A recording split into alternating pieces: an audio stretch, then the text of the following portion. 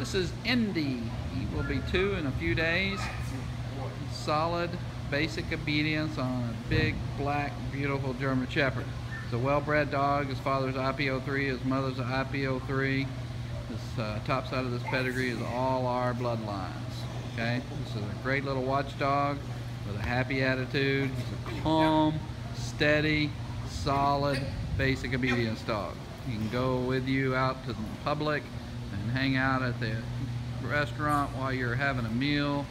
You can be sociable and friendly, gets along with other pets. This dog is easygoing as they get. Not pushy, not hard. Got a great watchdog bark.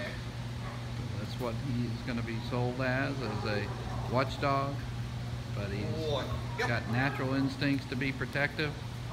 Once again, walks nicely on the leash, heeling, automatic sit. He's an athletic dog, even though he's big. You see how quickly and easily he can jump up on that table off of the slippery floor.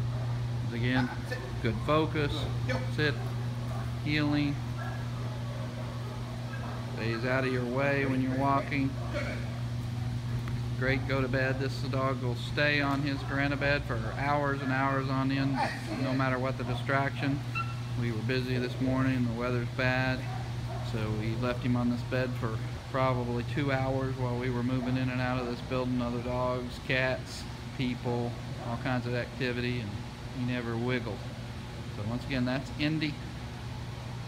Good boy, easy going, reasonably priced.